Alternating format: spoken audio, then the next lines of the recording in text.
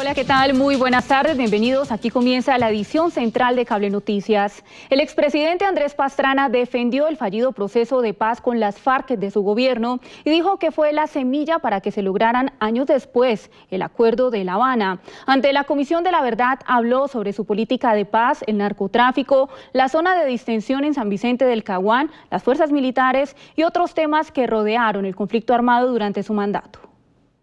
Y yo siempre dije, así me deje la silla vacía Marulanda, yo me voy a sentar.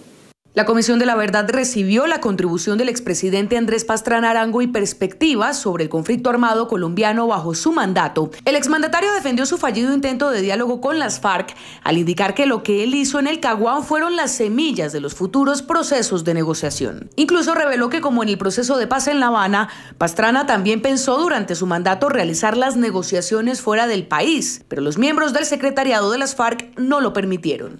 Yo siempre dije, ¿por qué no negociamos afuera? Hagamos unas cosas discretas, hagámoslos con fuera, por la participación nacional.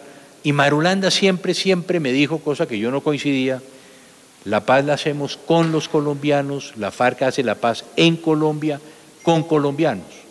Pero la verdad de todo este tema es que Marulanda y los guerrilleros le tenían pavor a montarse en un avión porque podían ser capturados y juzgados en el extranjero.